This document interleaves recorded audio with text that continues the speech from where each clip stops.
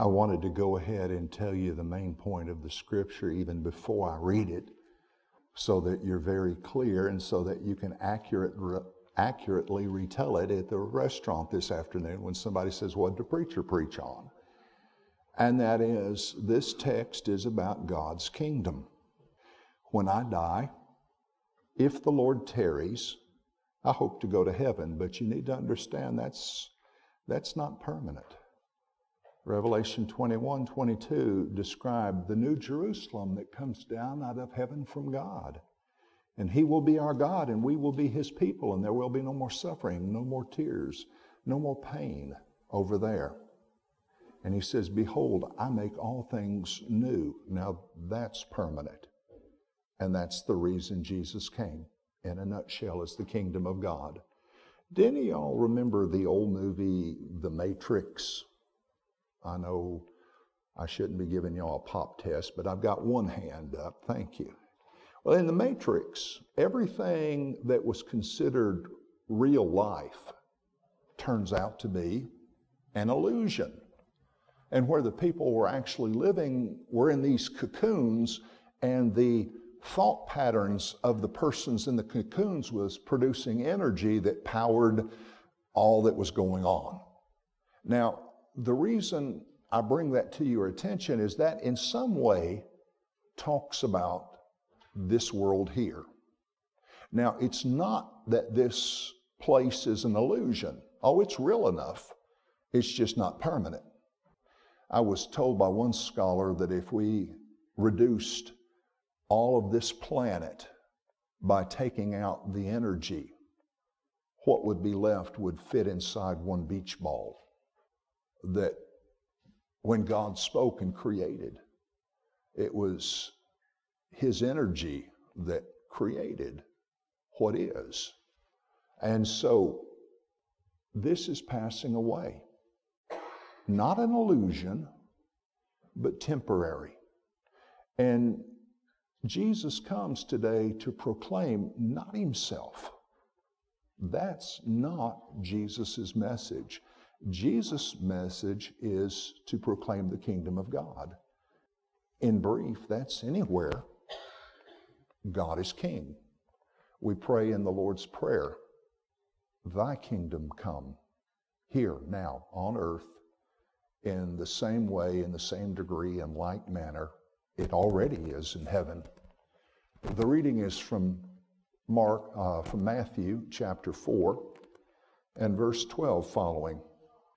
When Jesus heard that John had been put into prison, he withdrew to Galilee. Now, let's pause there. Evidently, this is for Jesus a sign. He's been baptized, he's been driven in the wilderness, and successfully withstood 40 days and temptations. And now we look at where Jesus fits in the big picture. John the Baptizer was the forerunner to proclaim that there's one coming after him. But now, back in chapter 3, he has this one sentence sermon repent, for the kingdom of heaven is near. It's not here yet fully, but it's closer now than it's ever been. And so now he's been imprisoned, and evidently that is the sign Jesus has been waiting for. Leaving Nazareth, he went and lived in, no, I'm sorry.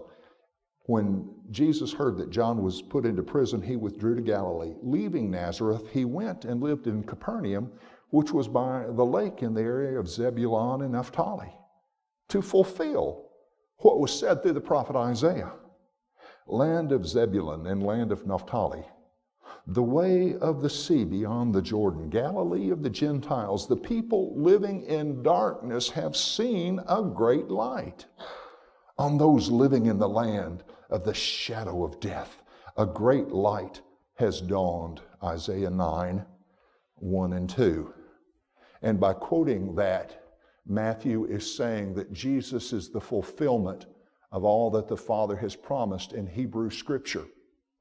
He proclaims the great light. Now, he's not the light because he has a message that you need to hear. But the great light is the coming of God's kingdom. It's the nearness of it and those living in darkness. Now, he's gone from his hometown, Nazareth, and he has taken John's place, preaching where John was arrested by that same ruler.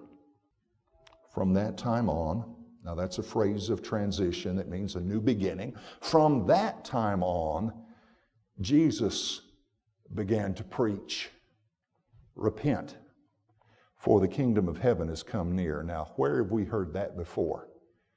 Matthew 3 and verse 2, those are the identical words of John the Baptizer. In other words, Jesus is just taking up what has happened before him. And it didn't start with John, it goes all the way back to Genesis to the fall, where originally God wanted his kingdom then and there, and it couldn't happen because of the fall, and he's been working for that kingdom ever since. And Jesus is just the last, the fulfillment, and that kingdom is near. As Jesus was walking beside the Sea of Galilee, he saw two brothers. Now, by the way, this sea is also called Tiberias and uh, Gennesaret. And so don't believe you're the only area that's got the same body of water called two different names, just depending on when it was called that. I got used to calling that body the Kentucky Lake living up in Kentucky. Now down here they call it something different, you know. They were casting a net into the lake, for they were fishermen. Come, follow me, Jesus said, and I will send you out to fish for people. At once, they left their nets and followed him. Going from there, he saw two other brothers, James, son of Zebedee, and his brother John. They were in a boat with their father Zebedee, preparing their nets. Jesus called them, and immediately they left their boat. Now, pause there. In both cases, both sets of brothers are called by Jesus, and what do they do?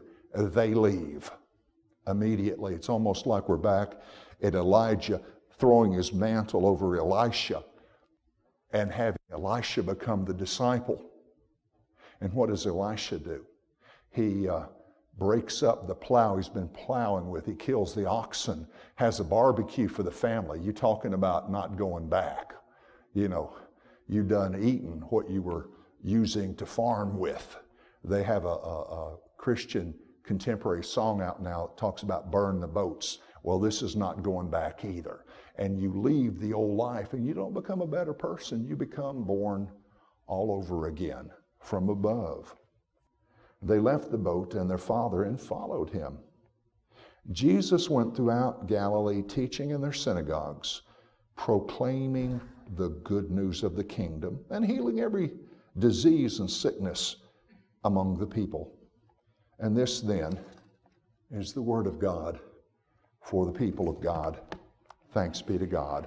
Father, may the word of my mouth, the thought, the meditation, the heart of all here today be acceptable, or in the name of Jesus become acceptable. You alone are our strength, our Redeemer. Amen. We have here a message about God's coming kingdom, that the fulfillment of it is in Jesus Christ, and He doesn't come proclaiming his, Himself, he, procl- he proclaims the coming of the kingdom. And that is the essence of the message. But it didn't start with him. He just repeats what John says. And it traces all the way back from the beginning. There's continuity. And what happens as Jesus begins to preach? The first thing he does as he begins to preach, he works on finding his own replacements. Uh, we in the modern church have lost that. From the very beginning, Jesus finds and starts to equip his own replacements. Now, the old saying in the church is God doesn't call the equipped, he equips the called.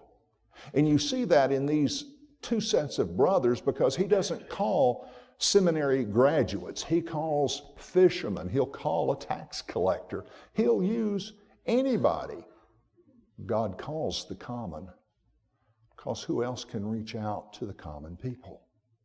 And so he calls And in doing so, he points the pattern you and I need to follow.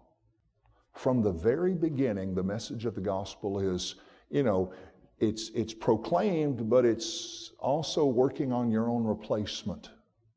If you take a set of fiancés, a husband and a wife to be, and let them get married and don't do anything to prohibit, and they're both healthy, within a year or so, you probably will have a baby. Uh, Jesus is the groom and the church is the bride, and you look around and say, Where are the babies? We haven't been training our replacements. We haven't been proclaiming God's kingdom. And then if we do, we're sort of shy about saying, Now, come on, you need to come along and, and take part in it. I knew a, a young woman one time. She, she worked the cash register at uh, Walmart. I know that's not your favorite place you know, the, the line, the checkout line at Walmart. But she was brilliant at it. You would ask her, What do you do for a living? She'd say, I am an evangelist for the Lord Jesus Christ, cleverly disguised as the checkout girl at Walmart. I mean, she had her hand around what it is that our calling is to be. When, when, when Jesus said to fishermen, Come follow me, I'll teach you to fish for people. It's not that all of us are supposed to be fishermen. The point is, whatever you do, do it for God's sake in an all new life. You're born again. You're not just improved, you're not just better, you're new. And that means what you do is new. And you used to do it for your own sake, now do it for God's sake. We. Uh, we have this fantastic passage here. It's way too deep to fully understand in one sitting. But you understand that what Jesus is doing here is he's laying out the message the church is supposed to be proclaiming even to this moment. We continue what's been started before us. We don't try to come up with a new message. We just keep that same gospel that's been proclaimed for centuries and we go and proclaim it. And as we proclaim it, we train our own replacements. And the kingdom of God has come near. In the name of the Father, the Son, the Holy Spirit. Amen.